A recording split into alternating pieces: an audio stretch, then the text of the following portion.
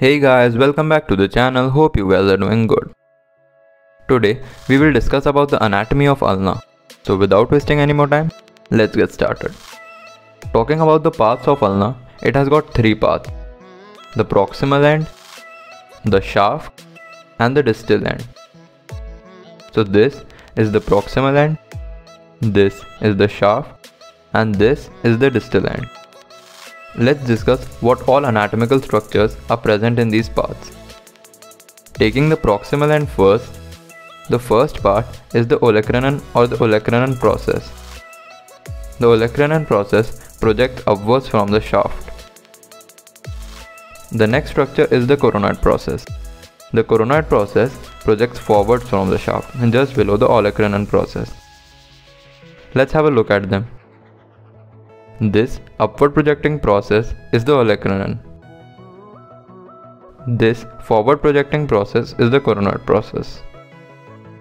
Continuing the structures of the proximal end, the next structure is the radial notch. The upper part of the lateral surface of the coronoid process has the radial notch that articulates with the head of the radius to form the superior radioulnar joint. There is a tuberosity present called as the tuberosity of ulna or ulnar tuberosity. The lower corner of the anterior surface of the coronoid process forms the tuberosity of ulna. The last structure in the proximal end is the trochlear notch. The anterior surface of the olecranon process and the superior surface of the coronoid process forms the trochlear notch and the trochlear notch bears an articular surface that articulates with the trochlea of the humerus to form the elbow joint. Let's have a look at this part. So this is the lateral view of the proximal end of ulna. This laterally present notch is the radial notch. This is the ulnar tuberosity present on the lower corner of the anterior surface of the coronoid process. And lastly, there is this trochlear notch present that articulates with the trochlea of humerus to form the elbow joint. The next part is the shaft. The shaft has three borders and three surfaces. The borders present are anterior border, interosseous border and the posterior border. And the surfaces are anterior surface, medial surface and posterior surface. Let's have a look at these borders and surfaces by looking at the bone from different perspectives. This is the frontal view of ulna and this surface which you can see is the anterior surface. This is the anterior border.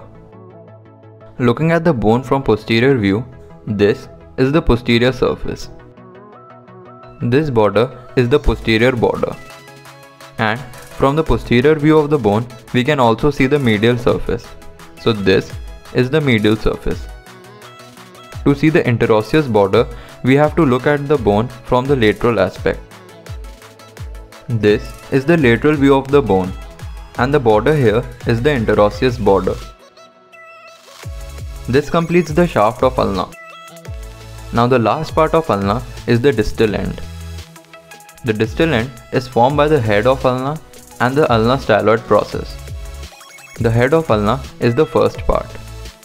The head has the articular circumference that articulates with the ulnar notch of the radius to form the inferior radioulnar joint. We will see this joint in a minute, but before that, we need to discuss the second part of the distal end, that is the ulnar styloid process.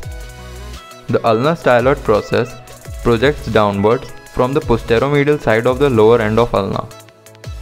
Let's have a look. This is the inferior view of radius and ulna, and this shaded area is the head of the ulna. This projecting process is the ulnar styloid process. This is the radius bone and this is the articulation of the articular circumference in the head of ulna with the ulnar notch to form the radioulnar joint. Lastly, this is the articular surface for the scaphoid and lunate bone. So that is it for today guys. Subscribe the channel and also follow us on Instagram.